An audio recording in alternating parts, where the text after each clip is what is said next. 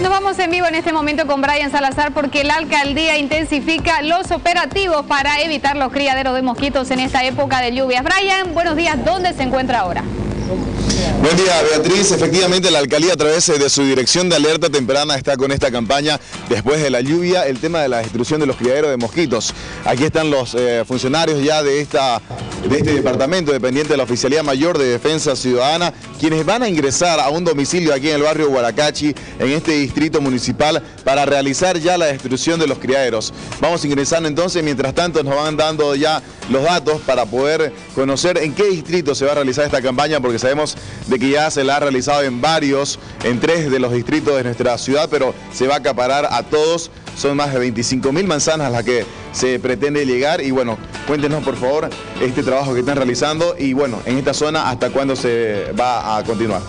Muy buenos días, así es, nuestro gobierno municipal está realizando la campaña de destrucción de criaderos con el fin de evitar la proliferación del vector Aedes aegypti. No, esto consiste en identificar todos los criaderos o todos recipientes que puedan ser contenedores de agua en los diferentes domicilios y darle tratamiento respectivo o en todo caso eliminarlos o desecharlos.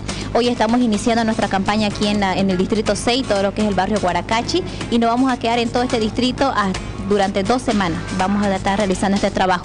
Y hemos intervenido en todo lo que es la zona norte, la zona de todo lo que es la Villa Primero de Mayo, el Plan 3000 y han sido trabajados. Hasta la fecha se han recogido en estos tres distritos unas 39 toneladas en todo lo que es recipientes y llantas para eh, bueno, eliminarlos, ¿no? estos criaderos y ahora que estamos iniciando aquí en el distrito 6. Importante recalcar de que después de la lluvia pues se tiene complicaciones con este mosquito que es el que transmite la enfermedad del dengue, entonces hay que aprovechar de que van a estar ellos por los diferentes eh, distritos para poder pues eh, realizar este trabajo, ¿no es verdad?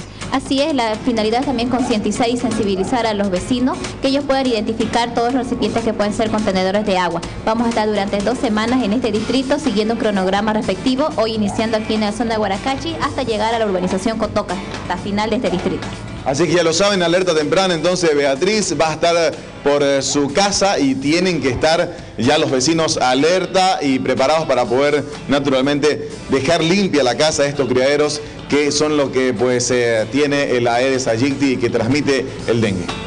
Importante que los vecinos colaboren, Brian, con los funcionarios del, del municipio, que en esta oportunidad van a estar durante dos semanas trabajando en el barrio Guaracachi. Los funcionarios están plenamente identificados. Ábrale usted sus puertas y ayude a la eliminación de criaderos de mosquitos. Gracias, Brian. Buen día.